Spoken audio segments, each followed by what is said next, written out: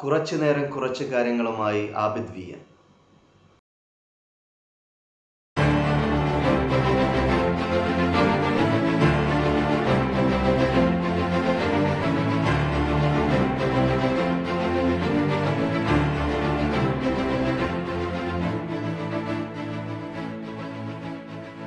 കൗതുകത്തിന്റെ നിമിഷങ്ങൾ സമ്മാനിച്ച് ഖത്തർ വീണ്ടും ലോക ശ്രദ്ധ പിടിച്ചുപറ്റിയിരിക്കുന്നു.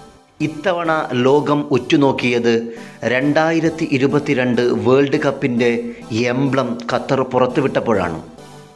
ഒരേ സമയം ബുർജ് ദോഹയിലും ഖത്താറ കൾച്ചർ വില്ലേജിലും സൂക്ക് വാഖഫിലും അൽസുബാറ ഫോർട്ടിലും യുനെസ്കോ വേൾഡ് ഹെറിറ്റേജ് സൈറ്റിലും പ്രദർശിപ്പിച്ചപ്പോൾ തന്നെ ലോകത്തിലെ London Johannesburg Mexico City Mumbai Paris എന്നിവയടങ്ങുന്ന ഇരുപത്തിനാലോളം പ്രധാന നഗരങ്ങളിൽ എംബ്ലം പ്രദർശിപ്പിച്ചു.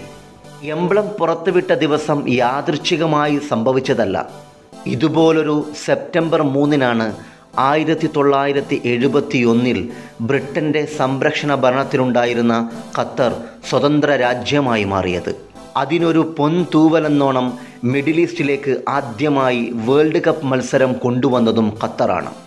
വിഷയത്തിലേക്ക് വന്നാൽ വെറുതെ ഒരു ലോക പ്രഖ്യാപിക്കുകയല്ല ഖത്തർ ചെയ്തത്. എട്ടോളം പ്രധാന ഘടകങ്ങൾ ഉൾച്ചേർന്നാണ് എംബ്ലം ഖത്തർ രൂപകൽപ്പന ചെയ്തിട്ടുള്ളത്. ഒന്ന് ശൈത്യകാലത്ത് ലോകത്ത് എല്ലായിടത്തും പ്രധാനമായും അറബികൾ ഉപയോഗിക്കുന്ന പരമ്പരാഗതമായ വിവിധ ഡിസൈനുകളിലുള്ള ഷാളിന്റെ മാതൃകയാണ് ഒന്നാമതായും.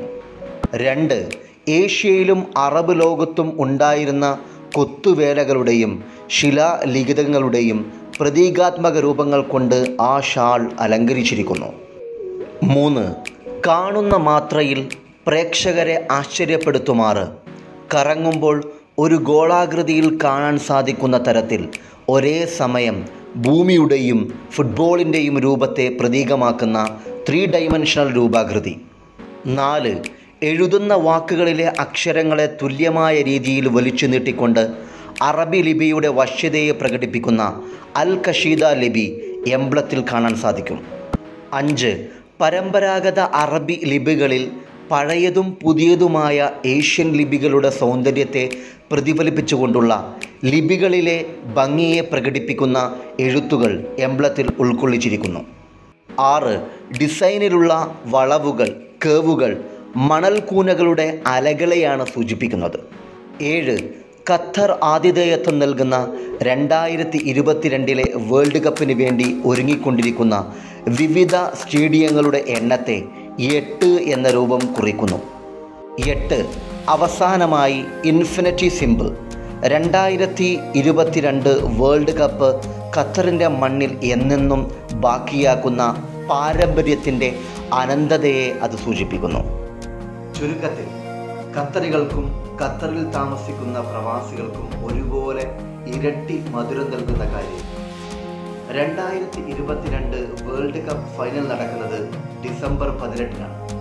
അന്നാണ് ഖത്തർ നാഷണൽ ഡേ.